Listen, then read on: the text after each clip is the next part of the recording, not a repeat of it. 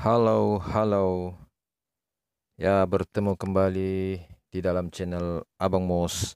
Assalamualaikum warahmatullahi wabarakatuh. Ya, macam Ustadz pula. Oke, video tutorial kali ini Abang Mus akan menunjukkan kepada Anda bagaimana menentukan arah kiblat rumah Anda menggunakan Google Map. Oke, ini suatu perkara yang amat penting, terutamanya uh, kita yang berada di rumah. Bagaimana kita nak tentukan arah kiblat secara tepat hanya menggunakan Google Map. Oke, saya yakin semua orang pun ada handphone Android dan di dalam handphone Android itu pasti ada satu perisian yang dinamakan Google Map. Oke, kalau tak ada boleh download melalui Play Store. Oke, Google Maps. Oke.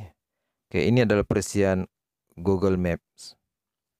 Oke, kita buka perisian Google Map ini. Langkah pertama ialah tekan pada ruangan search bagian atas tu. Oke, Anda typekan Ka'bah. Oke, tulisannya Ka'bah begini. Sebab Ka'bah adalah kiblat bagi orang Islam. Dan kita solat pun mengarah ke kiblat ke Ka'bah sebagai kiblat bagi semua umat Islam di dunia ini, oke? Kita tekan Ka'bah, oke, pilih salah satu. Oke.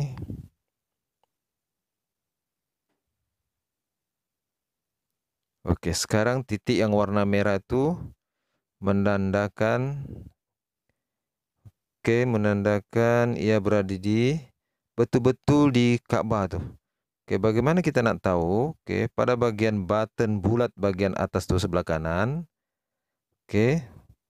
Oke, ini ada pilihan untuk menukar map tersebut. Oke, Google Map nih.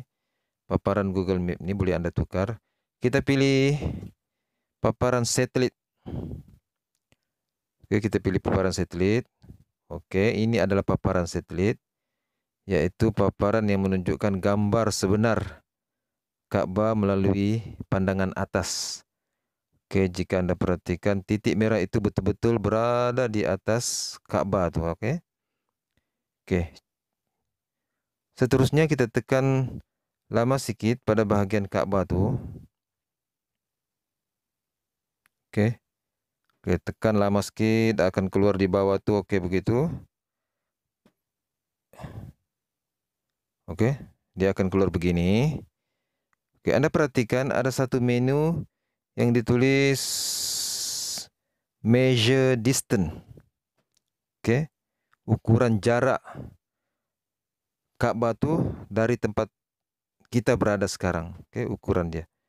Oke, Anda tekan measure distance tuh. Oke.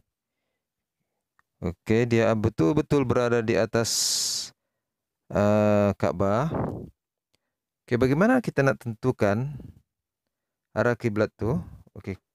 Kalau kita gerakkan sedikit map tu, oke. Oke, dia akan ada satu garisan. Seterusnya, cara cepat untuk kita tarik garisan ini sehingga betul-betul di rumah kita ialah tekan butang uh, location sebenar Anda. Okay, yang warna bagian bawah warna putih itu, dia ada titik di tengah tu. Okay, Anda tekan saja. Okay. Otomatik dia akan tarik sehingga Anda betul-betul berada di rumah Anda. Okay, jika Anda berada di rumah Anda lah. Okay, jika Anda berada di tempat lain, di dewan kah, di manakah, okay, Anda boleh gunakan cara ini juga. Oke. Okay. Seterusnya, besarkan map tu. Oke, sekarang saya berada di Tawau. Kalau ditulis sini Tanjung Batu Laut Tawau. Oke, Anda tarik saja. Oke, Anda tarik saja. Oke. Ini adalah rumah saya. Oke, bagaimana Anda tentukan uh, tentukan tentukan arahnya ialah gambar rumah Anda ini pada handphone ini Anda selarikan dengan rumah Anda yang sebenar. Oke, Anda selarikan. Oke, bagaimana selarikan? Anda pusinglah handphone tuh supaya dia betul-betul sama arah rumah Anda yang sebenar. Oke. Supaya dia betul-betul sama dengan arah rumah Anda yang sebenar. Oke. Seterusnya, garisan yang tadi itu yang menuju ke Ka'bah itu itu adalah kiblat Anda yang sebenar. Oke, itu ada kiblat Anda. Jadi di mana Anda berdiri Anda boleh tahu arah kiblat tersebut. Oke. Saya harap Anda faham. Oke, garisan itu sebagai kiblat Anda sebab dia menuju ke dia menuju ke Ka'bah. Oke. Saya harap ini dapat membantu bagaimana menentukan arah Anda. Oke. Ataupun pada masjid Anda boleh gunakan juga pada dewan dan apa-apa saja di mana saja Anda berada Anda boleh tentukan arah kiblat itu dengan menggunakan kaidah ini. Ini satu alternatif yang boleh Anda gunakan selain Anda gunakan perisian-perisian yang banyak terdapat dalam Play Store. Oke, Anda boleh gunakan juga. Oke. Oke, rasanya itu saja. Sehingga berjumpa lagi. Sebelum itu jangan lupa subscribe channel Abang Mus Uh, tekan butang loceng, like and share supaya ia lebih bermanfaat kepada semua orang. Dan sehingga berjumpa lagi. Assalamualaikum warahmatullahi wabarakatuh.